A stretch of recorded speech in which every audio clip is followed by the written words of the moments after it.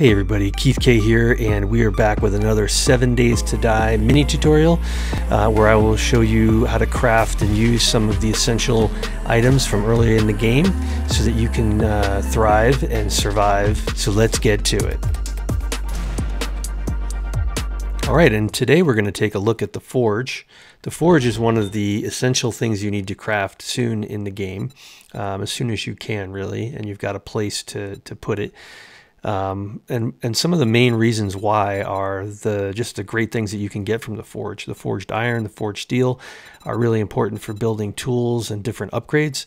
Um, but also, uh, you know, you can um, craft a number of items in terms of ammo from the iron arrowhead, uh, the steel arrowhead. But also, once you know you've got um, uh, a rifle or a pistol, in order to make more ammo and not rely on just finding it, you need to create bullet casings and bullet tips. And you really could dedicate one whole forge just to these two, which really is, is kind of the approach that I take where I'll have one main forge here and I'll have mainly iron, uh, sandstone, and clay in it so that I can uh, craft iron, steel, as well as cement um, for a lot of the upgrades and empty water jars so that I can get more water um, and have the other one running almost, you know, you could almost have it running full time, uh, just creating bullet casings and bullet tips so that you have uh, a steady supply of ammo.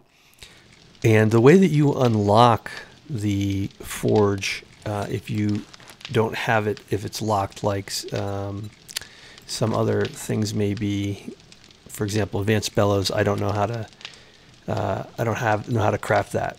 so you either need to find the forge schematics.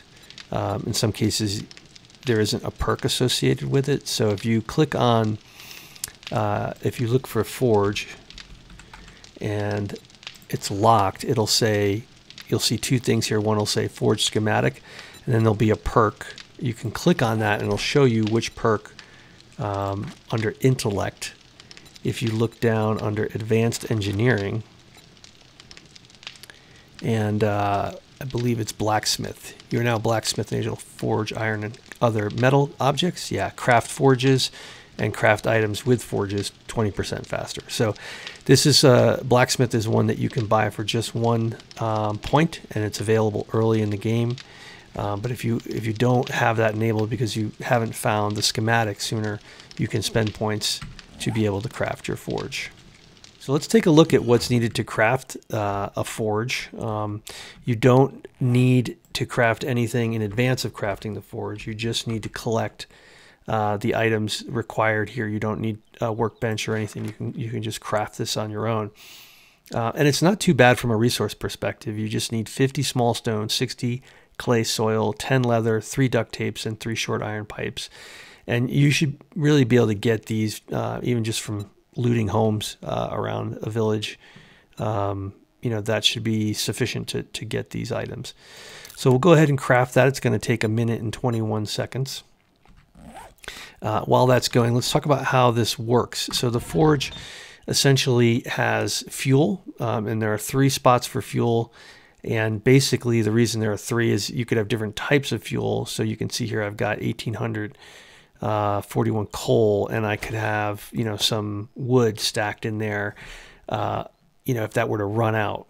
So, you know, this will run through the amount of coal that we have and then start burning, um, you know, more wood. Now, when you are um, in the middle of smelting uh, down materials, you you can't add any more to this particular uh, you know block here that that type of fuel you can add it to the other two though. So that's the other thing you could do is if you don't want to turn it off um, you know you can just add more to these other two. So you could have you know multiple of the same type uh, if that one is blocked. Uh, and then there are tools that you can add into your your forge. So the first one is the advanced bellows. So this one increases your smelting speed by 50 percent.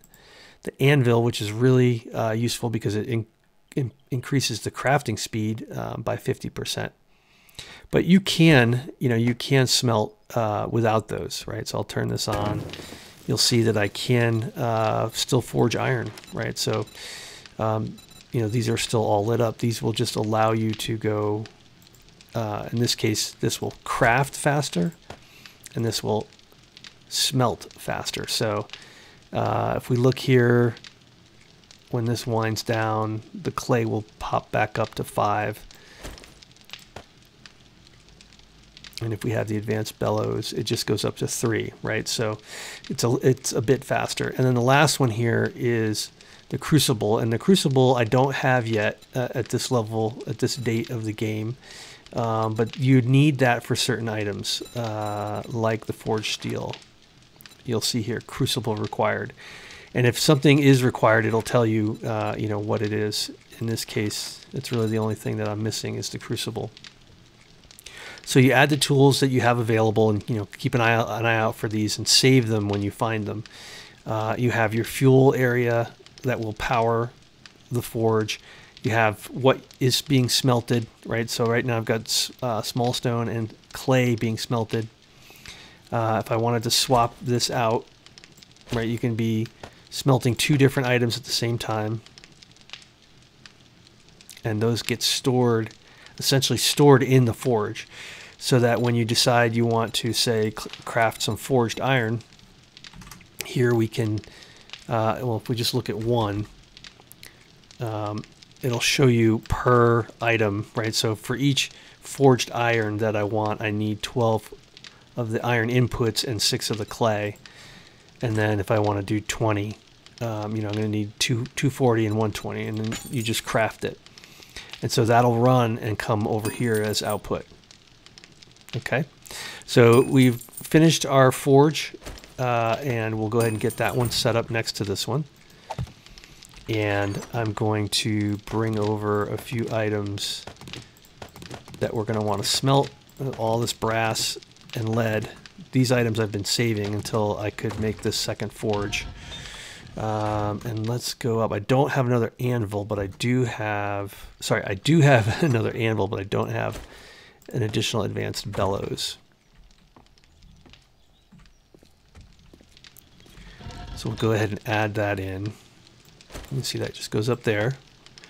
We'll put our fuel in the fuel area. And then you can break down these items into brass and lead, respectively, um, but you lose a percentage. I think it's maybe 50% when you um, when you scrap them. So if you you know if you have room, it's always better to uh, just smelt them down whole so you'll get more uh, of those resources out of them. Um, and you'll see here, actually this is going to take forever. Let's move, I'll put lead. This will go a little faster. You'll see that as this smelts, the lead count goes up. Right? And as the brass smelts, I'll do that over here, the brass count will go up. And then once we have enough,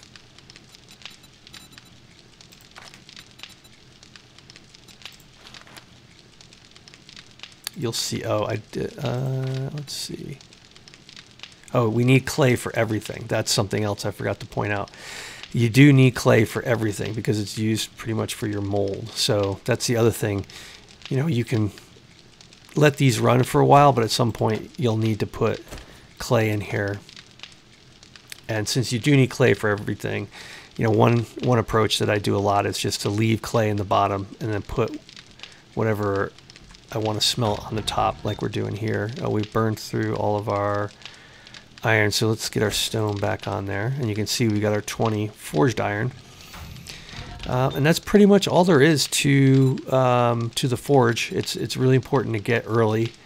Uh, as you can see now, we can create bullet tips and bullet casings. So if we were to create one of each of these,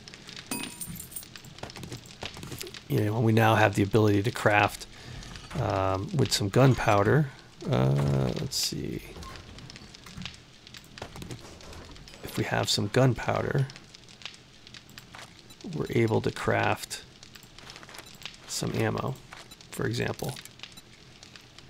And that's pretty much it. So hopefully uh, you got something out of this video. If you did, please leave a like. If you'd like to see more of these as they come out, uh, consider subscribing. And if there's something particular in Seven Days to Die that you want to see a tutorial on, um, drop a note in the comments, or if you have a better way or another idea on how to get the most out of the forge, uh, definitely drop that in the comments as well. Do appreciate everybody watching and uh, all the support, and I'll see you back here soon.